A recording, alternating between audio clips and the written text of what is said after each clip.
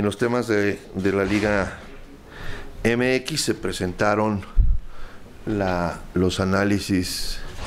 correspondientes al Club Pachuca, al Club León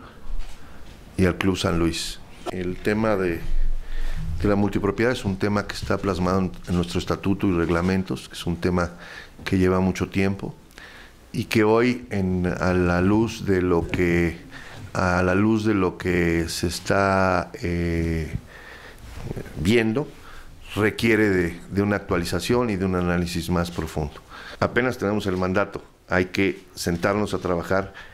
junto con el Comité de Desarrollo Deportivo para poder traer en el mes de mayo, cuando se vuelva a convocar una asamblea de la Liga MX, la, primero el diagnóstico, el análisis y las sugerencias correspondientes.